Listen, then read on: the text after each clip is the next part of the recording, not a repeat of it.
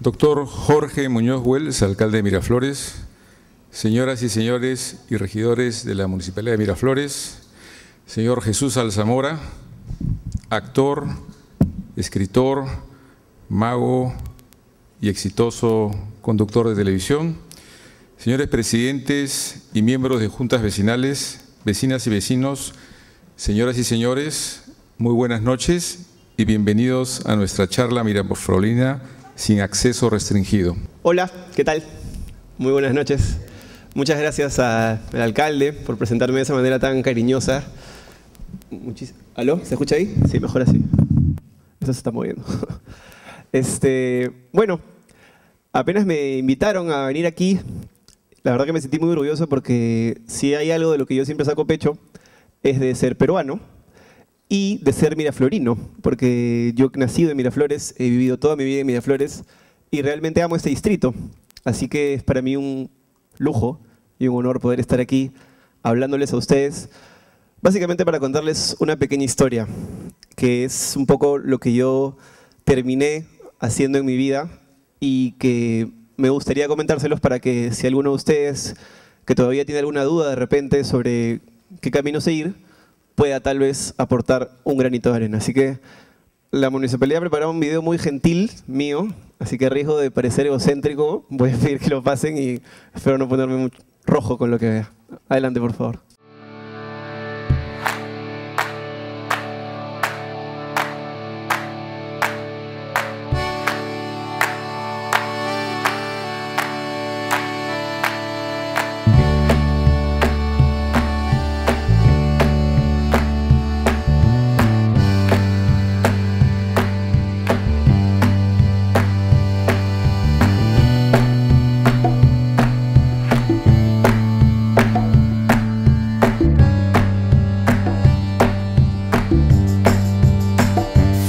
Basta que veas fútbol una vez en alta definición para que no quieras volver a verlo de otra manera. Es como tener cada detalle en tus manos. Bien, estás libre. ¿Estás bien? Sí, no me pasa nada. Gracias a Dios. Gracias a ti.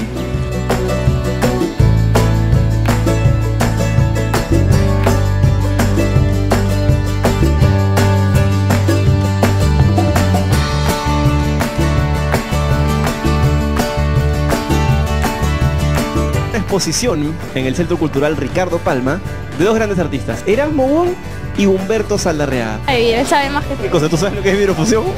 ¿Qué vas a saber? Básicamente, si no está pegado en las redes, este, creen Gente que no, carente de algo, ¿no? creen que no viven, pues, este, yo vivo, vivo, además soy feliz.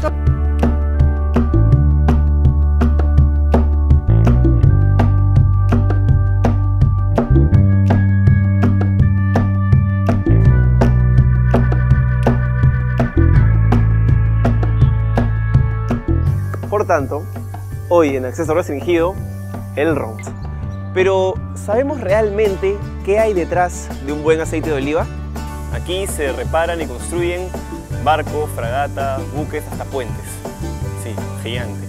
Y hoy vamos a ver cómo lo hacen aquí en acceso restringido.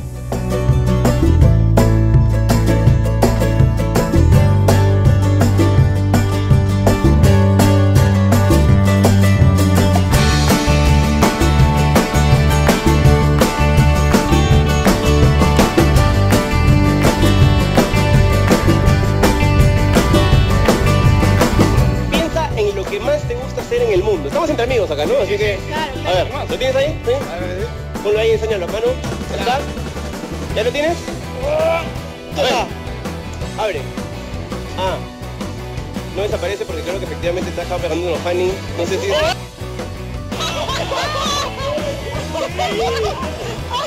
Eso es lo que más te gusta. Una cosa con la que aprendí, mi primer efecto que me enseñó a ver, Core y el cual yo no creía que podía pasar. Ya, Dos esponjas, ¿sí? Una, dos. Coges una en la mano izquierda, la voy a poner muy claramente en la mano izquierda, y la otra la voy a poner en la mano derecha. Voy a pedir que abras tu mano, por favor. Voy a colocarte esta esponja, sí, fuerte, y vas a cerrar fuerte. Ok. Vamos a tratar de hacer un viaje medio mágico, ¿sí? Uno, dos. No me digas que está la otra. Abre la mano. Están las dos ahí. ¡Increíble!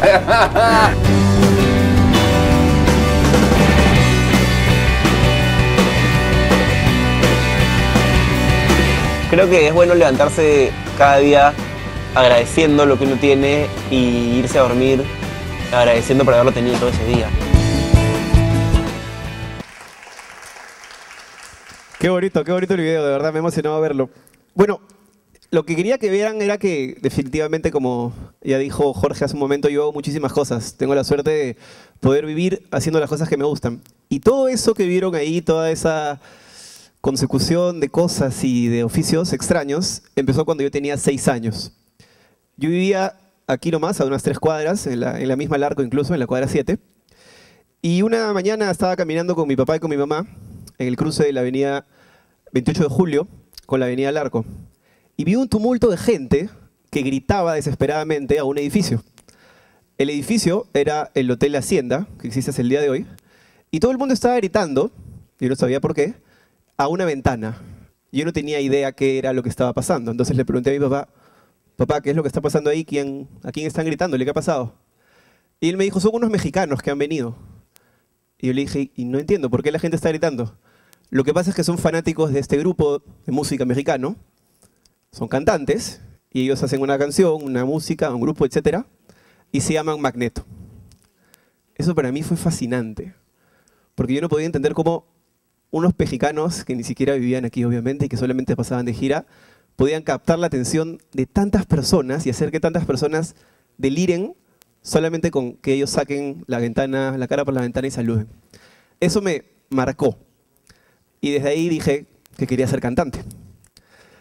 Claro, no tenía yo la idea de que qué era ser cantante, que había que estudiar la voz, que era una carrera seria, a pesar de que sea artística. Pero lo primero que hice fue pedirle a mi padre que me compre una videograbadora no sé si se acuerda, pero me compró una videograbadora roja con un micro muy pequeño, en el cual yo cantaba todo el día. Ponía la pista, ponía rec y me ponía a cantar.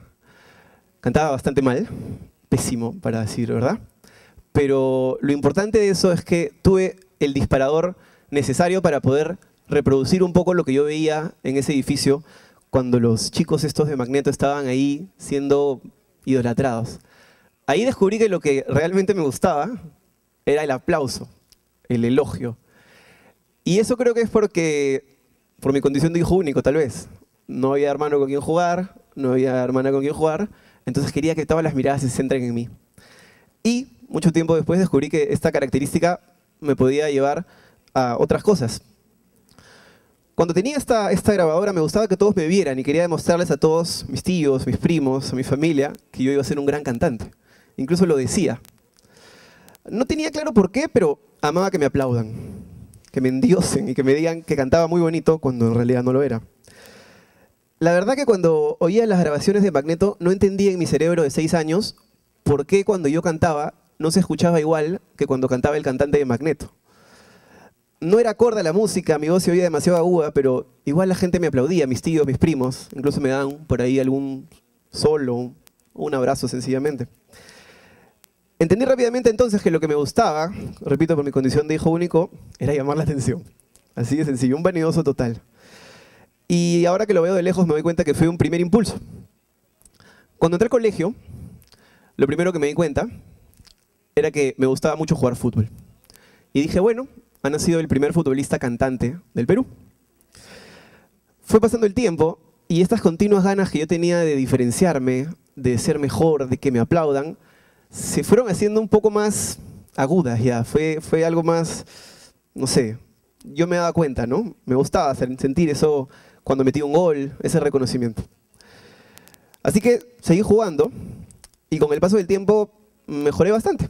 Tanto así que en un verano me inscribí en una academia de fútbol, yo soy hincha de Alianza, pero me inscribí en la academia de la U porque en la Alianza, según corría el mito, solamente podían ir chicos que fueran negros, de color negro. Y me pareció una tontería, no lo entendía, pero así lo repetían en el colegio, así que fui. Después de tres meses de jugar en la U, me llamaron para jugar en la filial del equipo y yo ya estaba pues extasiado, iba a ser un futbolista famoso.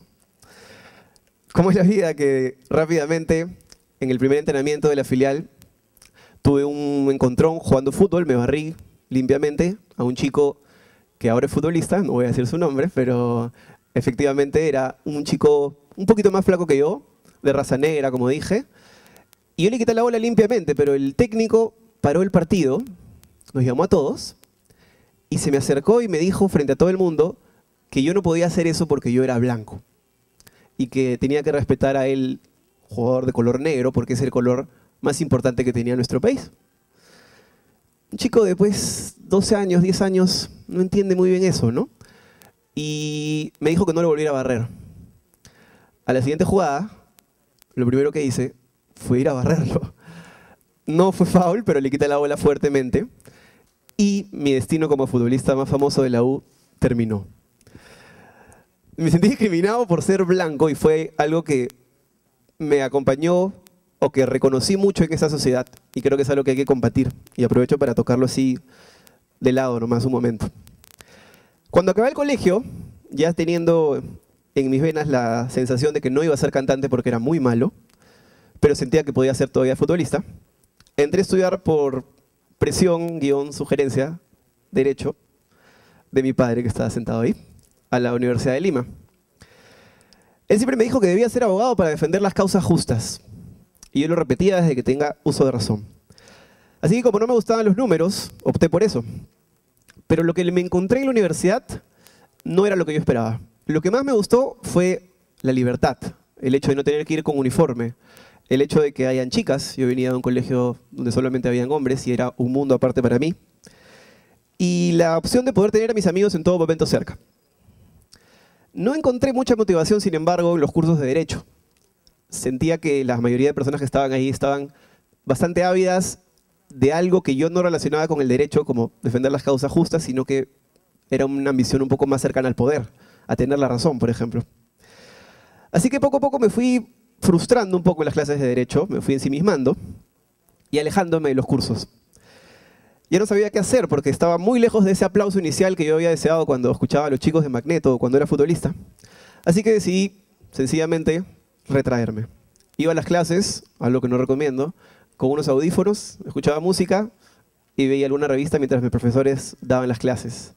Alguna vez incluso discutí con un profesor, que es el doctor Nakazaki, por eso, que en verdad era una falta de respeto de mi parte, pero era algo que yo no podía decidir, simplemente lo hacía porque no tenía otra opción. Hasta que un día, siempre llega un día, las historias, una amiga mía de la facultad llevó un libro de literatura. Se llamaba Cartero. Y el protagonista de esta historia estaba mucho más atrapado que yo en ese momento. Era un tipo que tenía realmente todo tipo de frustraciones. Y al leer esa historia me sentí totalmente identificado. Me sentí por fin vivo, reanimado, y decidí que leería toda la obra de ese escritor. Y además me encontré con que en la universidad había una muy buena biblioteca de la cual yo podía sacar libros gratis. Así que por fin algo bueno en esa universidad. Empecé a escribir, escribir, escribir, después de leer mucho, porque quise ser escritor. Iba a ser un cantante, futbolista y escritor. Claro, no sabía escribir, entonces mis cuentos eran bastante malos. Las oraciones eran previsibles, las historias no cerraban y no me iba muy bien con la literatura tampoco. Pero algo se estaba formando, algo, yo no sabía qué. Luego un tiempo en la universidad, gracias a que jugaba todavía fútbol, me llamaron para un equipo de futsal. Siempre fui bueno para eso y, y aproveché esa oportunidad del futsal para conocer a un amigo mío, que terminó siendo amigo después, que era mago su manera de ganarme la vida me parecía increíble. Yo venía a hacer muchas cosas a la vez, muchas cosas raras, y él se ganaba la vida siendo mago. Este, así que decidí, bueno, futbolista, cantante, escritor, vamos a ser mago también. No tenía la responsabilidad en la mente de lo que esos oficios significaban. Para mí eran solo etiquetas que podía ir agregando, como quien agrega un poco más de agua en una jarra. Obviamente él no me quiso enseñar magia, ni ninguno de los amigos que tenía ahí alrededor, pero hubo uno que necesitaba algo que yo tenía. Este chico era muy bueno haciendo magia, pero carecía de ciertas habilidades para comunicar que yo, gracias a mi formación en la carrera de Derecho, sí tenía. Así que el intercambio parecía obvio y todo el día empezamos a parar juntos para yo enseñarle a él la forma correcta de comunicarse y él enseñarme a mí trucos de magia. Después de jugar al mago por algún tiempo, me convertí en uno de verdad.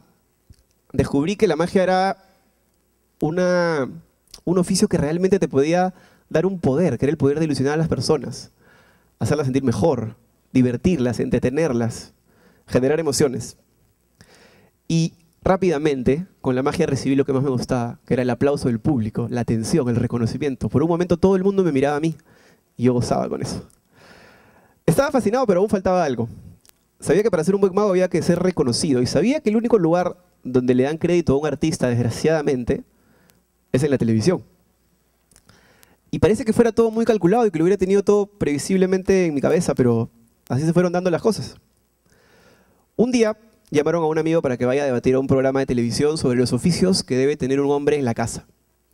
No sé, cosas como arreglar una tubería o de repente freír un huevo, etc. Yo en la casa no tengo ningún oficio, soy un completo inútil, no sé hacer absolutamente nada, la verdad no sé ni siquiera freír un huevo. Y eso fue lo que aproveché para ir a ese programa y ser medianamente simpático. Luego de ese programa, el productor del mismo me contactó para que yo haga un casting para un programa que se iba a hacer, que se llamaba Acceso Restringido. Y posteriormente, luego de eso, para el programa Polizontes. ¿Qué quiero decir con toda esta historia y con toda esta introducción a lo que les quiero contar? Que yo no tenía la menor idea de que cada una de las cosas que iba haciendo puntualmente y que a veces se contraponían una con otra, iban a terminar estando conectadas. La conexión que se dieron en estas cosas, en estos oficios, en estos trabajos que yo tenía, fueron marcándome poco a poco ciertos criterios. Eso quiere decir que en algún momento, cuando los puntos se conectaron, si yo no hubiera sido un jugador de fútbol, no hubiera sido mago. Si no hubiera sido mago, no hubiera sido conductor de TV. Y si no hubiera sido abogado, jamás habría llegado a aprender magia. De tal manera, las cosas se fueron conectando para que yo pudiera hacer lo que a mí me gustaba.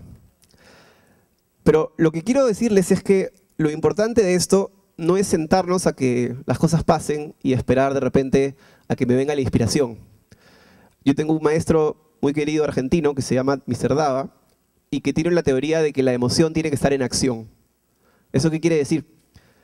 Que está bueno decir, pues, Diosito, por favor, ilumíname, ¿no? Quiero hacer esto, quiero hacer lo otro, pero tienes que hacerlo. Mi mamá siempre tiene una frase que es al Señor rogando, pero con el mazo dando. Así que es algo así. Hay que ir por los objetivos y perseguirlos. No hay un oficio correcto. No hay una sola manera correcta de ganarse la vida. No creo que haya un solo camino. Lo más complicado está en encontrar cuál es tu principal capacidad y poder maximizarla. A todos ustedes les debe haber pasado una vez que han dicho, bueno, yo soy un artista frustrado, yo soy un pintor frustrado, yo soy un tal frustrado. Y creo que no solamente las generaciones jóvenes, sino todos, todavía tenemos el tiempo para cambiar y dejar de ser frustrados y poder hacer lo que nos guste. El esfuerzo vale la pena con creces. No soy quien para dar consejos, pero creo que es mejor jugarse la oportunidad de hacer lo que siempre quisiste o soñaste, a asegurar la vida con un trabajo típico y que tal vez no te haga feliz. Eso no quiere decir que los trabajos típicos no te puedan hacer feliz. Claramente, si ese es tu camino, pues persíguelo. Una cosa que fue dura cuando empecé a hacer magia, cuando empecé a trabajar, era que yo trabajaba en lo que me gustaba, pero ganaba 100 soles al mes, tal vez. Y mis amigos universitarios ya cobraban 2.000, 3.000. Y yo tenía que seguir en la decisión de si aguantaba con lo que estaba haciendo, que no sabía muy bien qué era, porque cuando alguien me preguntaba, ¿tú qué haces? Este, bueno, yo soy, decía, le digo que soy cantante, futbolista, mago, actor, mejor floreo. No sabía muy bien qué decir. Entonces terminaba diciendo, bueno, yo trabajo, ¿no? Porque no tenía una respuesta. Pero gracias a Dios me mantuve en esa especie de etapa de transición y estuve aguantando hasta que, hasta que las cosas empezaron a darse. Yo creo que lo que tenemos que hacer, y sobre todo las personas jóvenes que de repente me están escuchando y que no saben qué se van a, a qué se van a dedicar en la vida y tienen un poco de miedo, tienen que seguir su instinto, porque nada más les va a dar el camino correcto. Yo entiendo que los padres que nos quieren y se preocupan por nosotros siempre nos van a decir, sé doctor, sé abogado, sé arquitecto, eso te va a dar seguridad, vas a vivir bien el resto de tu vida. Y tal vez sí, si lo quieren y si lo sienten, háganlo. Pero si alguno tiene vocación de pintor, pues no tiene que ser una persona que viva abajo de un puente pintando paisajes todo el día. Puede ser alguien que trabaje de 9 a 6 de la tarde, oficinista de la pintura, y puede ser un gran artista que viva muy bien de eso. Creo que tenemos que desmitificar un poco esos mitos sobre los oficios y sobre cómo debemos ganarnos la vida, no sé, dignamente, ¿no?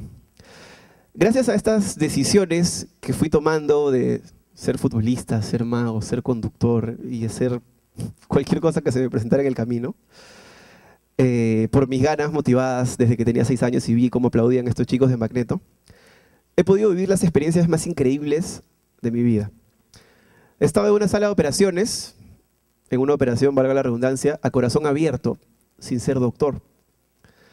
Estaba en una mina de oro a 700 metros bajo tierra y he cogido un lingote de oro que valía un millón de dólares en mi mano. He sido cadete naval por dos días, resumiendo una carrera de cinco años en dos días. He paseado por la cabina de un Boeing 770 en la parte de abajo, donde ni siquiera los pilotos pueden entrar. He visto la caja negra, que en verdad es naranja, no sé por qué le llaman negra. Y alguna vez he estado frente a una audiencia de 30.000 personas en el Estadio Nacional con un micro en la mano como ahorita, hablándoles, animando, divirtiéndoles, con la sensación y la adrenalina de saber que te estás dirigiendo a tantas personas. La motivación que ahora ya tengo no es necesariamente el aplauso, como cuando tenía seis años. Ya resolví problemas psicológicos y ya no tengo tanta necesidad de, reconocimiento o de aplauso. Claro que me gusta, como no. Pero lo que más me motiva es seguir descubriendo cómo se van a ir conectando los oficios y las pasiones que tengo. Seguir entrelazando los puntos, seguir mezclando el camino hacia adelante. Obviamente a mi antojo, pero siempre descubriendo nuevas formas de, vida. Sugiero probar muchas cosas, muchos caminos, aprender del error y pasárselo bien. Su motivación puede ser distinta a la que yo tenía a los seis años, tal vez pueda ser más valiosa, como ayudar a los demás, sobresalir del mundo que nos rodea, conocer límites más lejanos, las posibilidades son infinitas. Pero lo más importante es poner la emoción en acción, accionar, hacer, hacer de ese objetivo un verbo y un verbo en constante movimiento.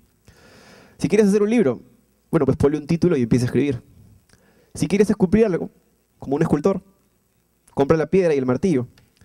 Si quieres hacer algo que no te atreves porque piensas que el resto te va a ver raro, porque vas a ser el diferente, pues empieza ya, hoy, ahora. Saliendo de aquí, ponte a hacer las cosas, porque nunca se sabe cuánto tiempo más tenemos. La vida no está comprada, como me dicen mis padres siempre. Y yo mañana de repente salgo, piso una cáscara de plátano, me rompo el cerebro y nunca hice lo que me gustó. Un poco trágico, pero esa es la idea. Hay que empezar hoy. Y, no renegar de las cosas que hemos hecho, que creamos que no nos sirven, yo cuando recién terminé mi carrera de Derecho y empecé a trabajar en muchas cosas, un poco que me arrepentía de haber estudiado Derecho, pero ahora me doy cuenta que fue una decisión muy importante y muy valiosa porque me formó de una manera universitaria que creo que en la medida de las posibilidades es muy importante la formación que te da la universidad o una carrera superior. Es por eso que después de que me di cuenta que las cosas que había hecho iban a servir, poco a poco las he ido resucitando con el tiempo cuando he necesitado hacerlas ya sea la faceta de abogado o de artista o de escritor o lo que necesite. Lo importante es tener la convicción de que todas esas cosas que estás haciendo te van a llevar en algún momento algo más grande. Como cuando le pedí a mi papá que me compre esa grabadora de voz para ser cantante, a pesar de tener seis años y no saber nada, ahora también mantengo ese espíritu temerario que creo que es lo que me puede distinguir de ese chico que estaba ensimismado cuando estudiaba Derecho y no era feliz.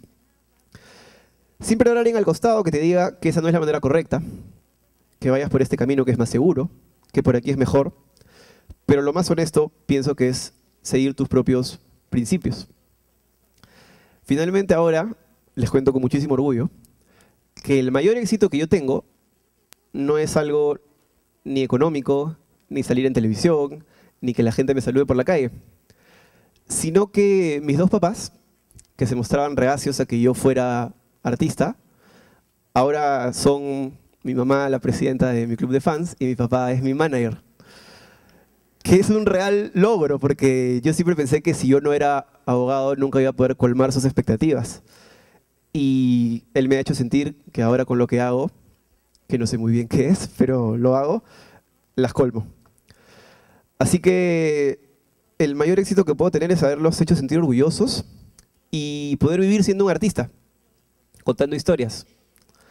Hay que trabajar como cualquier otro oficio, hay que tener una mente tal vez un poco comercial, empresarial, Pero quiero decirles que por ser artista uno no tiene que sentirse especial o, por ejemplo, sentir que tiene la sensibilidad del actor. Esas son tonterías.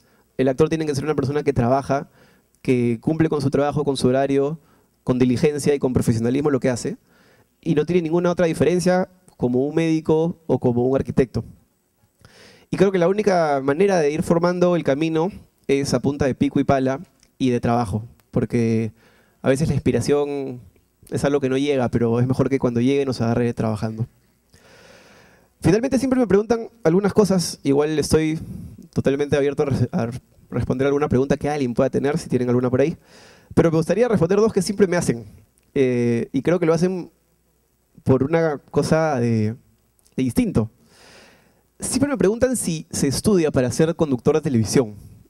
Creo que es algo que con mucha gente le gustaría hacer, porque parece un trabajo muy fácil, ¿no?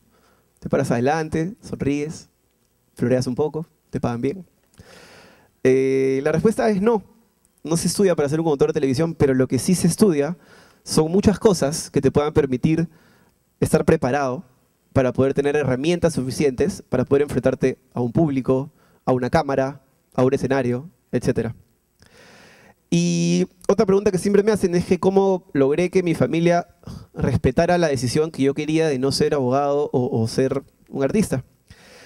Y la respuesta también es muy sencilla, es ganándomela con actos, ¿no?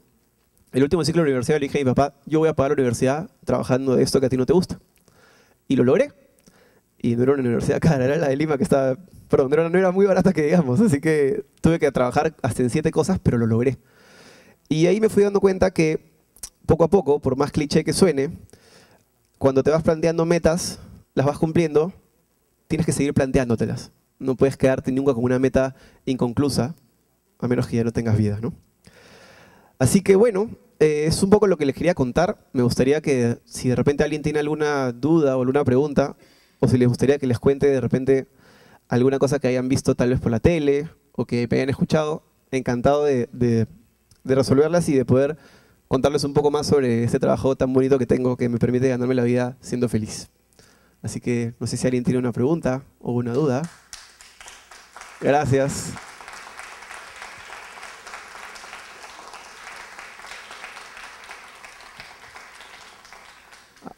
¿Alguien por ahí? Ajá. Perfecto.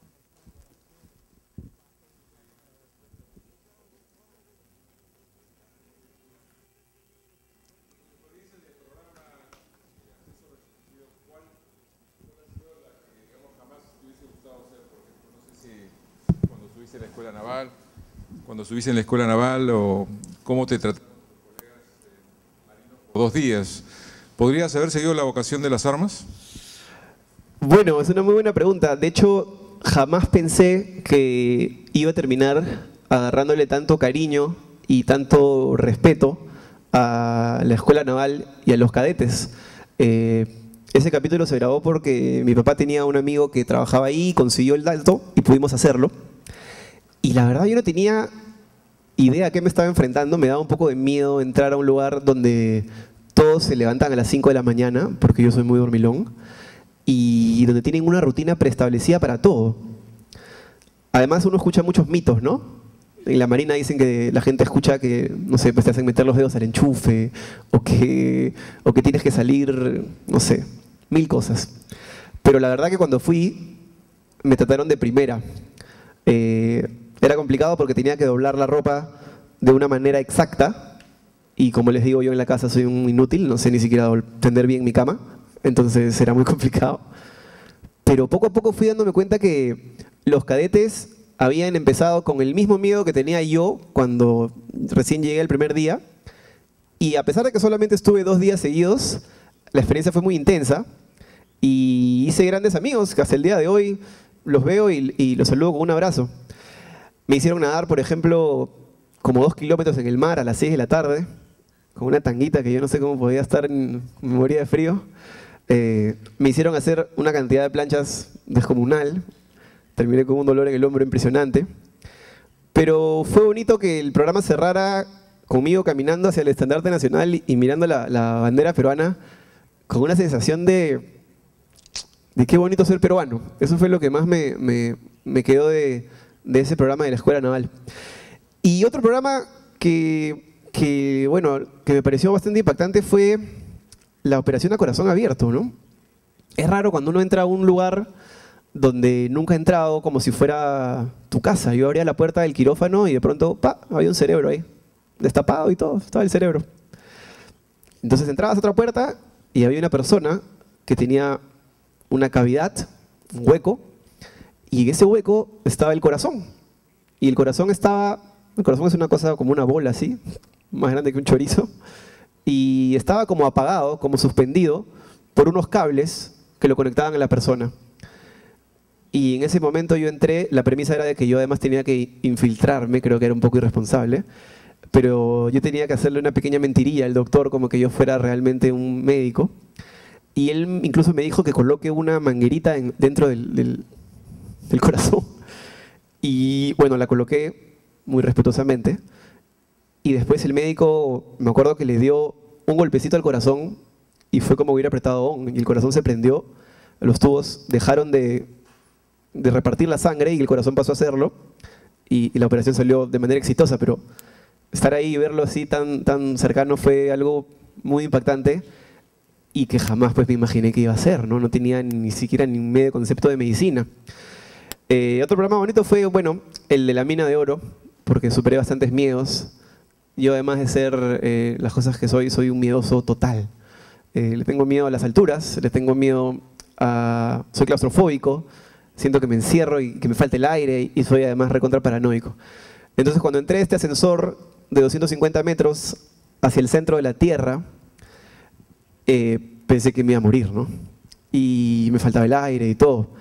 Pero fue bueno también poder entrar en, calma y darme cuenta que cuando pasa el pánico, en ese instante en que el pánico está a tope, pasa, puedes tomar decisiones más tranquilas y puedes seguir adelante, ¿no? Porque finalmente había una cama delante de mí y tenía que enseñar los dientes y sonreír como si estuviera en la sala de mi casa, ¿no? Pero bueno, una experiencia muy, muy bonita. No sé si alguien tiene alguna otra pregunta. Ahí la señora. Ahí le van a alcanzar el micro. Sí, yo quería felicitarle. Ha tenido unos padres maravillosos que le han permitido hacer lo que a usted le gustaba. Eso es una gran suerte. Tiene que amar mucho a sus padres. Mi pregunta es, que, ¿cómo ve su futuro de acá a 15 años? ¿Se imagina con familia? ¿Cómo imagina? Esa es mi pregunta. Muchas gracias. Efectivamente, tengo dos grandes padres que están aquí acompañándome y que siempre me acompañan en cada reto que hago. Este, y los quiero mucho. Y además de quererlos mucho, se los digo constantemente. Creo que es importante eso también. A 15 años, sí, me veo con una familia. Tengo una novia que está ahí, María Paz. Así que espero seguir con ella, si ella quiere. Este, y sí, me gustaría tener eh, varios hijos. Pero sobre todo me veo haciendo lo que me gusta y tratando de mezclar las cosas que hago de manera que pueda seguir generando cosas que me satisfagan. No tengo muy claro qué. Muchas veces me preguntan qué te gusta hacer más, actuar, conducir, hacer magia, escribir. Y yo siempre respondo que contar historias, porque eso me permite abarcar todos los soportes. Así que espero que en 15 años pueda seguir contando historias, eh, ya sea en la literatura, de repente escribiendo un poco mejor, porque creo que los escritores maduran su prosa y su escritura con el tiempo. Espero ser un mejor mago, espero ser un mejor tipo. Y sí, espero tener una, una familia, de repente con una casita con jardín para que jueguen. Pero, pero sí, la verdad que es algo que, que- me gusta. Me gusta mucho, me gusta pensar en el futuro y, proyectarme. A veces demasiado, hay que vivir el presente, pero, pero sí, así me veo en 15 años. Muchas gracias por la pregunta. Ahí está, hay una por ahí. Está divertido esto de las preguntas, ¿ah? Yo sigo, feliz de la vida. No, Jesús, me he quedado intrigado con el tema de la radio. Tienes un programa con tu papá y, y no has contado eso, cómo nació. Ah, cómo- verdad, la radio es una arista- ¿Cómo se llegaron a conquistar en ese, en ese ambiente? Verdad, es algo que, que olvidé mencionar. Eh, qué bueno que lo hayas preguntado porque es una interesante historia. La radio para mí era solamente una y era Radio Miraflores, justo como, como el distrito en el que nos reúne el día de hoy. Eh, cuando yo tenía también 10 años, en esta vocación de, hacer cosas y de salir y que me aplaudan y ser reconocido, pequeño egocéntrico, eh, mi papá me consiguió una cita con Ricardo Palma, entonces el dueño de Radio Miraflores, y le dijo que yo quería conducir un programa deportivo. Y el señor Ricardo Palma, sentado en su sillón muy grande, un escritorio muy bonito, aceptó. No sé cómo, porque no sé qué le habrá dicho a mi papá, porque para darle un programa deportivo a un niño de 10 años que con la justa sabe vocalizar. Pero me acuerdo que me dijo, lo único que tienes que hacer es llevarte este lápiz a tu casa y te lo pones en la boca para que vocalices mejor. Así que tenía el lápiz en la boca y trataba de hablar. Y increíblemente a la semana era yo el conductor del bloque deportivo de un noticiero de dos instituciones de la radio, como Enrique Llamosas y Pedro Roncal, que tenían en esa época, la verdad que no les he seguido el rastro, pero en esa época deben haber tenido tranquilamente 70 años cada uno. Espero que sigan por aquí. Y yo era el bloque deportivo de estas dos voces gruesas, anchas, graves, y de pronto sonaba, hola, ¿qué tal? Vamos a hablar del fútbol. Y era un contraste increíble, ¿no? Incluso recuerdo que me escuchaban en el colegio y que estaba permitido que llegue clases tarde porque tenía este bloque deportivo matutino. Ahí descubrí la radio y descubrí el medio de comunicación más familiar y más cariñoso que hay, creo, porque la tele a veces es muy fría y está marcada por, por intereses mucho más comerciales. Entonces, descubrí este feeling con la radio. Eh, la experiencia duró un par de años y luego mi padre consiguió tener un programa sábados y domingos a las 8 de la mañana en Radio Miraflores. Yo ya no tenía 10 años, sino que tenía como 17. Y era esa etapa pues, en la que recién empiezas a salir, a juerguearte, a probar por ahí algún traíto. Y varias veces tuve que ir al programa a las 8 de la mañana habiendo dormido una o dos horas, porque venía de juerguearme o de estar de fiesta. Pero era una cosa que disfrutaba mucho, porque mi papá y yo nos poníamos a hablar de cualquier tema durante una hora. La gente llamaba. Y hubo una, una, un episodio o un programa en todo caso, en el cual llamó una persona que, que, estaba quejándose porque en ese momento el alcalde, no me acuerdo quién era, había dispuesto que iban a sacar la estatua de Pizarro de la plaza. Y mi papá estaba en desacuerdo y yo estaba de acuerdo, porque me parece que Pizarro era el conquistador y no teníamos por qué homenajearlo a él, entonces debería haber una estatua de Atahualpa de repente. Mi padre estaba en desacuerdo y discutimos al aire de verdad. Y creo que esa discusión fue la que originó que no sé, unos 15 años después, pudiéramos tener el proyecto que tenemos ahora, que se llama Palo y Astilla. Es un programa que conducimos en Radio Capital. Y ahora ya no lo hacemos a las 8 de la mañana, felizmente, sino que de 3 a 4, sábados y domingos. Y es muy, muy divertido compartir eso con, con, con, tu papá, ¿no? Porque no solamente es tu papá, sino que es tu amigo y debates, discutes y, y puedes hablar este, de lo que tú quieras. A veces tenemos una relación ya muy de patas, y parece que yo le falta el respeto porque es mi amigo y, a veces a los amigos uno los trata de una manera más lineal, ¿no? Pero he aprendido a controlarme y, y él aprendido también algunas cosas por ahí que yo le sugiero y la pasamos muy bien. Así que la radio es una, es una cosa más que hago, me había olvidado. Y, y es una cosa que quiero bastante, así que espero que la pueda seguir haciendo mucho tiempo. Jesús, te felicito. Creo que tu padre que es una, una, excelente persona, la cual conozco, debe estar muy orgulloso de ti. Gracias. Así como tú estás de, tu, de como ellos están de ti, como tú de tus padres. Eh, yo quisiera que saber de la profesión que has seguido, que es derecho, qué cosa es lo que te gusta, porque eres un abogado, ¿no?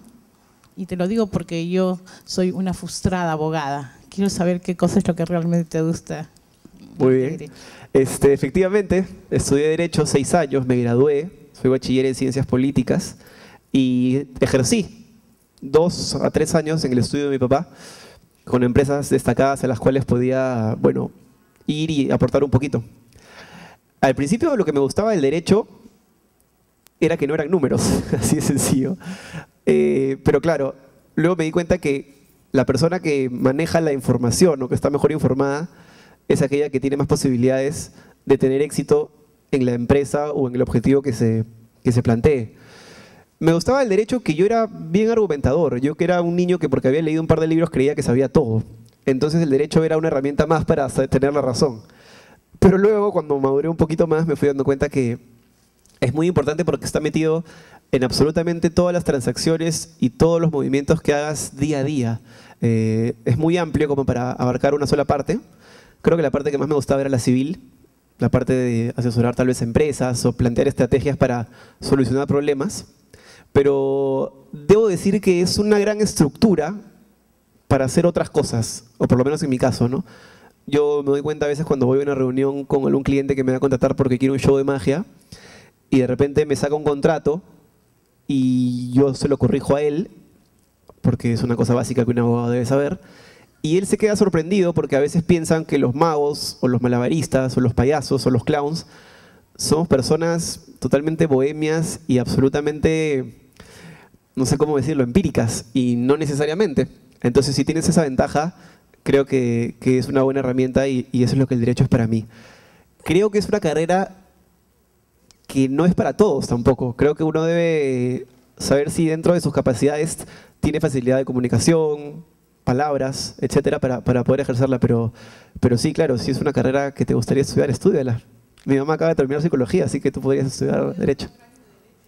Ah, has estudiado cuatro años. Está bien, muy bien. ¿Y te gusta o no?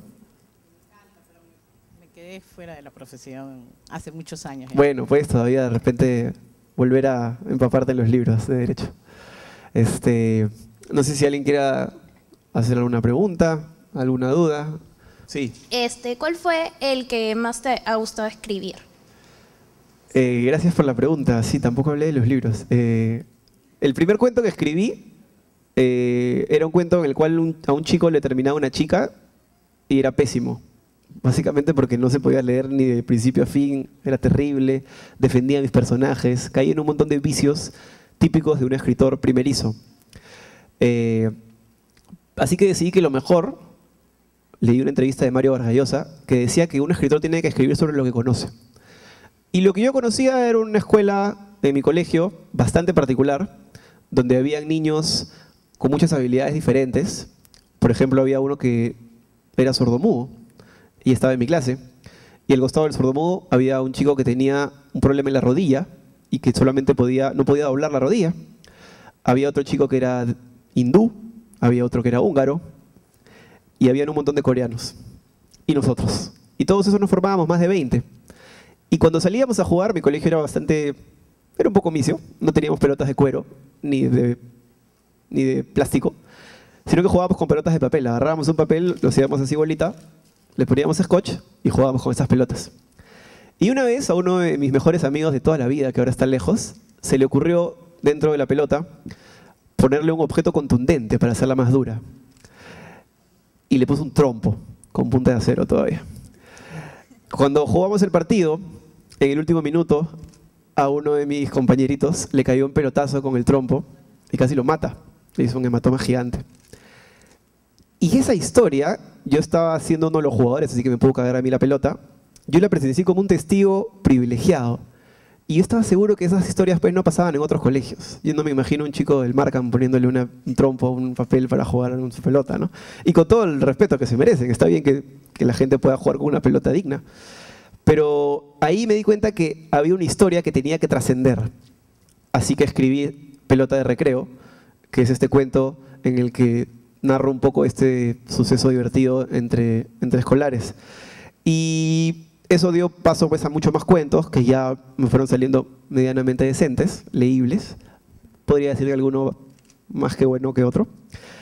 Y luego decidí que tenía que escribir una historia de amor sobre Lima. Y encontré la plataforma perfecta en un deporte que a muchos no les parecerá que esté cercano al amor, que es el box. Así que escribí una novela sobre un boxeador que se llama Carne de Presidio. Y creo que es lo que mejor me ha salido, porque la leo ahora que ha pasado el tiempo y no me da vergüenza eh, y me divierte. Y creo que pude, pude retratar eh, humildemente lo que yo siento que, puede ser un boxeador visto del lado positivo. ¿no? Un boxeador siempre está asociado al vicio, a, cosas nocturnas. Y el boxeador que yo planteaba era un tipo que iba a boxear como iba a la oficina y que sencillamente tenía dos hijas y las quería mantener con los puños. Y nada, me pareció más literario que eso. Así que incluí también a un personaje que se quedaba ciego por un tío que yo quiero mucho, que, que, bueno, ya no tiene vista. Y fui juntando las cosas como iban pasando y terminó saliendo esta historia que, que justo la vamos a reeditar ahora con Planeta. Gracias por haberlo dicho. Voy a publicar mi tercer libro que se llama Diario de un Mago para la Feria del Libro en julio con la editorial Planeta. Así que espero que lo puedas leer y que te guste. Gracias. Aló. Eh, primera vez que te conozco, ya nunca he visto esa serie, ¿no? Me gustaría que hicieras un poquito de magia. Me gustaría que A hiciera ver. magia. A ver si... ¿Cuánto tiempo estudiaste magia? Eh, es, es interesante eso porque la magia es algo que, como cualquier arte, creo que no se termina de, de aprender o de estudiar. Yo caí en la magia por azar, por un amigo, como dije, que jugaba fútbol, lo hice con él y, y empecé a estudiar diariamente durante todo un año, pero yo me lancé al ruedo sabiendo cuatro trucos. No era mago, era un chico que hacía cuatro trucos de magia y se ponía un sombrero y decía que era mago pero realmente aprendí lo que era ser mago cuando me entendí que, que lo que lo que realmente es ser mago no es lo que pasa en las manos, no es la desaparición de un papel, es el artista que emociona al público y que logra, mediante la percepción de sus sentidos, que la gente crea que ha sucedido un milagro. Yo no tenía esa capacidad y esa capacidad es muy complicada de, de- no se compra en una tienda, se tiene que desarrollar con el oficio. Entonces tuve la suerte de que tenía muchos shows en los que hacía los mismos trucos, pero pude ir desarrollando en esos mismos ciertas habilidades que me permitieron realmente ser un mago y no lo que era al principio, que era un truquero. Este, puedo hacerte un juego de magia, no tengo muchos elementos ahorita, pero de repente conseguimos unas cartas por ahí y te hago un jueguito.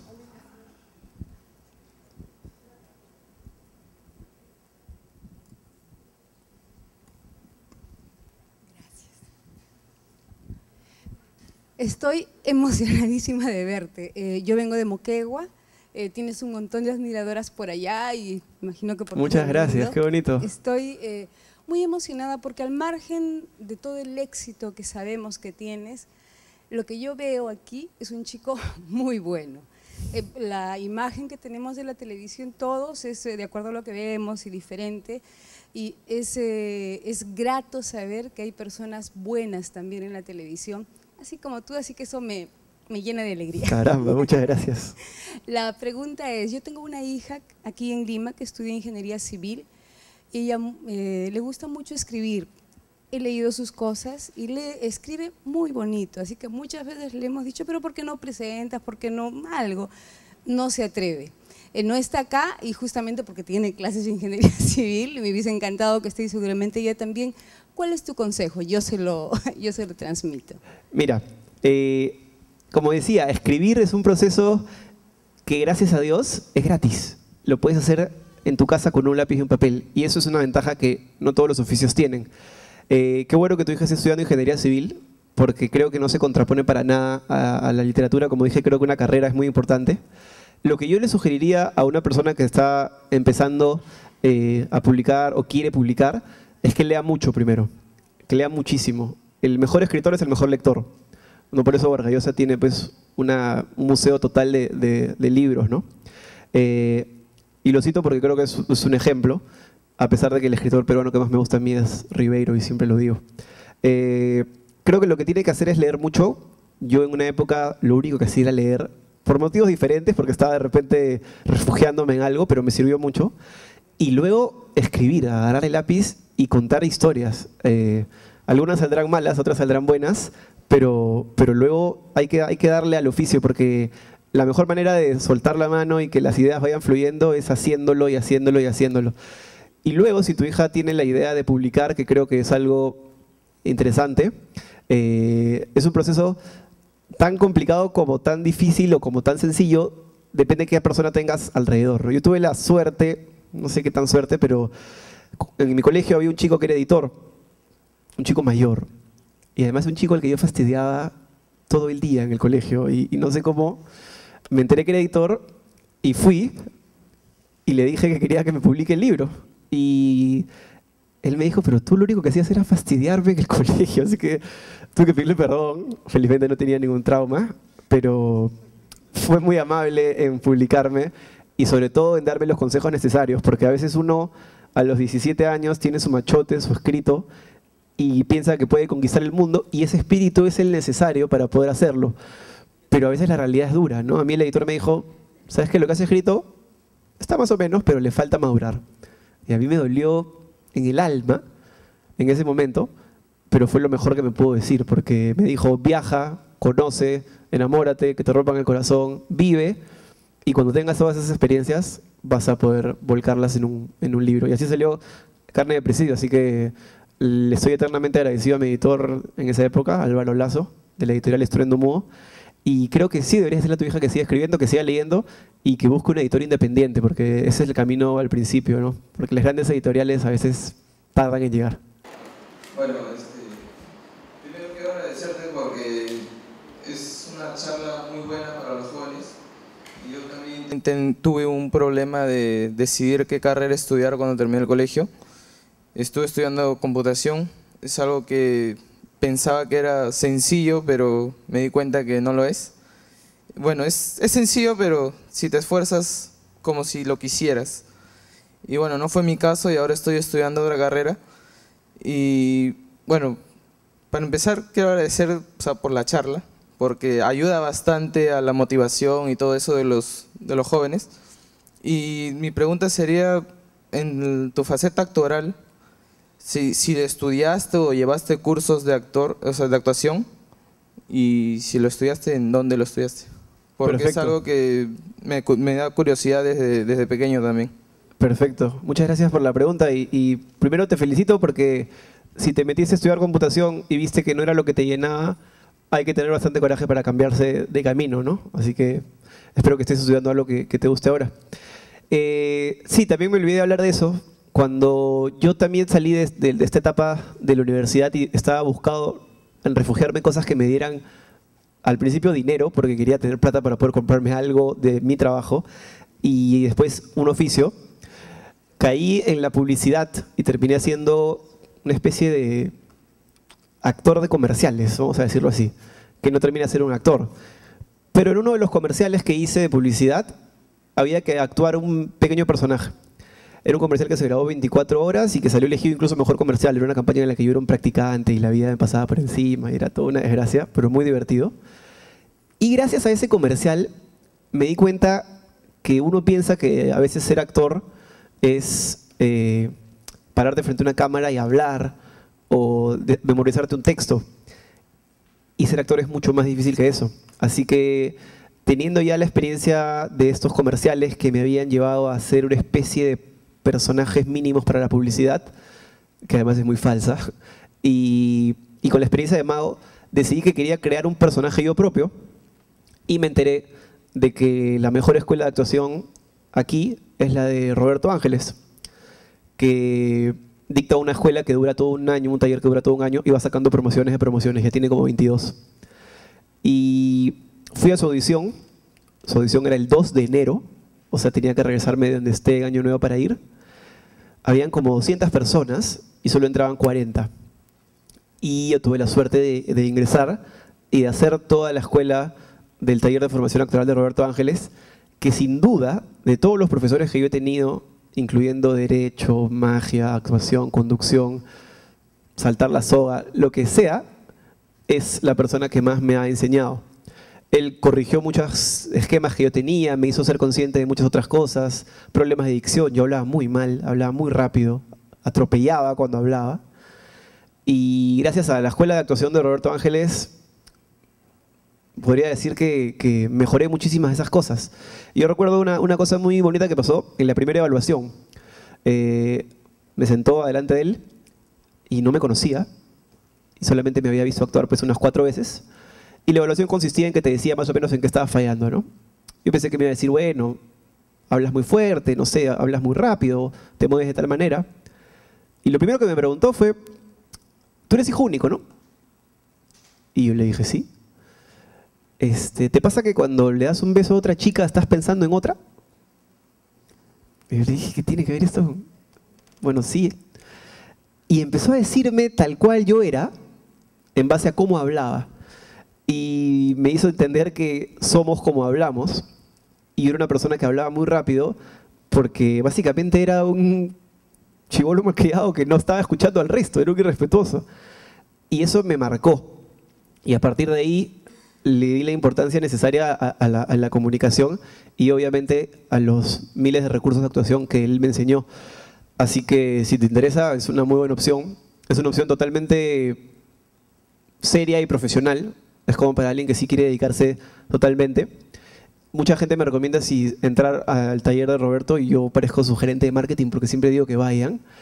Pero también digo que es algo que te toma muchísimo tiempo y que tienes que dejar casi todo lo que hagas de lado. Entonces tienes que tener la posibilidad de poder pagarlo y trabajar en un algo medio tiempo porque te, demanda mucho tiempo. Pero creo que la mejor manera de, de estudiar actuación, a pesar de que hay muchas, aquí en el Perú, es con Roberto y desde luego después también con el maestro Alberto Isola, pero, pero creo que es una muy buena opción si es que te interesa la, la actuación. Em, Dos preguntitas. Eh, yo soy estudiante ahorita de dirección y realización de televisión y cine en la Charles Chaplin. Este, quisiera saber cómo en sí este, llegaste a actuar, en, creo que todo el mundo sabe, en Al fondo hay sitio, y también tuviste como que una, un papel secundario en, en Rock and Roll 68. ¿no? Esa es la primera pregunta. Y la segunda es, este, ¿qué más lo que te gustó del trabajo que hiciste en Polizontes? Muchas gracias por la pregunta. Eh, a ver, ¿cómo llegué? Lo primero que yo hice en novelas fue con Michelle Alexander y se llamó Yo no me llamo Natacha. Y salió hace poquito un chico peludo, así pelucón, eh, donde además actuaba muy mal porque recién estaba empezando. Y bueno, no es que ahora tampoco sea Robert De Niro, pero soy un poco más decente, ¿no? Este, y bueno, hice esta serie básicamente porque un amigo me dijo que estaban haciendo un casting, me presenté y el día del casting le hice un truco de magia a la persona que estaba haciendo el casting y quedé. Pasó el tiempo, siempre iba abriendo las puertas con magia, es un poco como hacer trampa, pero siempre lo hago. Y quedé elegido. Pero claro, no se comparó ni en la mitad, pues, a lo que pasó cuando entré al fondo del sitio, ¿no? Que el jefe de casting me había visto en una prueba y me habían llamado para hacer un casting de un personaje que iba a salir en el fondo del sitio, que se llamaba Lucas, me parece, al cual no quedé elegido. Eh, pero apenas entré, noté que era un mundo bastante particular, que la gente se volvía loca por lo que pasaba dentro de ese, de esa especie de búnker en Lince, que habían ar- artistas muy talentosos, actores muy talentosos, y fue el primer acercamiento. Luego me llamaron para un personaje que querían que sea un profesor medio romanticón. Y yo dije, esta es la mía, ahora sí la tengo que hacer bien. Recuerdo que entré al casting, estaba Efraín Aguilar, que me pareció un tipo bastante peculiar, y me dijo, me habían dicho que para él lo más importante era la vocalización, que era mi talón de Aquiles desde siempre. Así que lo primero que me dijo fue, bueno, quiero que me pronuncies tu nombre bien y que me digas qué haces. Y yo le dije, hola, ¿qué tal? Soy Jesús Zamora. Y me miró como diciendo, ¿eres tarado? Te acabo de decir que tienes que hablar bien. Y me calmé, le dije, no, perdón, estoy un poco nervioso. Hola, ¿qué tal? Soy Jesús Alzamora. Y de ahí ya el casting fluyó. Y bueno, quedé elegido por, por, por suerte o, por, o porque daba para el perfil. Cosa que me lleva a pensar que es muy importante cuando hacemos un casting, si alguno aquí es actor o, o- o está juzgado, si nos chotean o nos dicen que no, no significa que nos estén choteando directamente a nosotros, sino que están buscando a alguien que sea el perfil más óptimo para ese personaje, así que no hay que tomarlo personal. Gracias a Dios me eligieron y cuando entré al fundecito yo no tenía idea que iba a ser magia, en el guion de pronto dijeron aparece una flor y bueno, la aparecí y le gustó al guionista y pucha, fue una locura, de verdad, porque no pensé que una serie pudiera tener tanta pegada con tanta gente, que hubiera tantas personas que por verte actuar después en la calle te dijeran cosas tan bonitas. Y creo que lo tomé bien, creo que no me la creí, porque cuando la gente te grita en la calle te amo, tú le puedes decir yo también, pero no, no, no se aman, pues, ¿no? O sea, es muy bacán y es bien bonito, pero, pero no es la realidad. Y tampoco te puedes creer que eres el gran actor o que eres el gran churrito, porque te puedes ir de cara bien feo, ¿no? Y Polizontes, que es algo al que le tengo muchísimo cariño, porque la, o sea, mucha gente lo asocia a, a que es un programa que vas a eventos medio pitucos, de repente hasta frívolos, pero a mí me abrió una puerta enorme desde que me dieron el micro y me dijeron, ya vas a hacer una prueba, y le pusieron ese cubo, yo sabía que si hacía bien esa prueba, mi vida iba a cambiar totalmente. Sabía que es, esa era el círculo en el que se iban a conectar todos los puntos que yo tenía. Y gracias a Dios hice la prueba y me eligieron. Y hasta el día de hoy, cada vez que tengo un casting, me acuerdo de, ese momento para buscar tranquilidad y buscar temple, porque a veces en los castings no podemos sacar lo mejor que tenemos, ¿no? Pasa que vas a un casting y dices, pucha, no, no me salió bien como me había salido en el espejo. Pero desgraciadamente lo que te van a ver es lo que vas a hacer. Así que hay que tratar de tener la tranquilidad y, y hacerlo, ¿no? Pero, pero estoy muy agradecido con, con, con el trabajo que tengo porque ir a eventos y conversar con la gente y hacerle bromas a las personas y que además te paguen por eso es increíble. Bueno, muchísimas gracias. Ha sido un placer para mí estar aquí y espero que lo hayan disfrutado. Muchas gracias, Jesús. Y invitamos a la regidora de Cultura, la regidora Franca Rey Camino, a clausurar la charla Miraflorina a nombre de nuestro alcalde. Gracias, Guillermo. Sí, de verdad, Jesús, ha sido un gusto enorme que compartas este momento con nosotros. Para quienes no te conocíamos, como yo, sino a través de la televisión, hemos quedado impresionados. Hay aquí un joven lleno de pasión, de ganas de vivir, de entusiasmo, de motivación y además yo siento que está súper anclado al piso y tiene un eje importantísimo que es su familia, porque hemos estado conversando como una hora y cuarto entre los que te han preguntado y lo que tú has dicho y varias veces has repetido la importancia o, o lo rico que es tener a tu papá, a tu mamá, compartir con ellos, disfrutar y eso vale mucho y por eso es la calidad tuya. Gracias Jesús. Esto es de parte del alcalde de nosotros. Gracias. Gracias por venir y hasta la próxima. Estas charlas las tenemos los terceros jueves de cada mes. Así que vengan, los esperamos aquí. Gracias.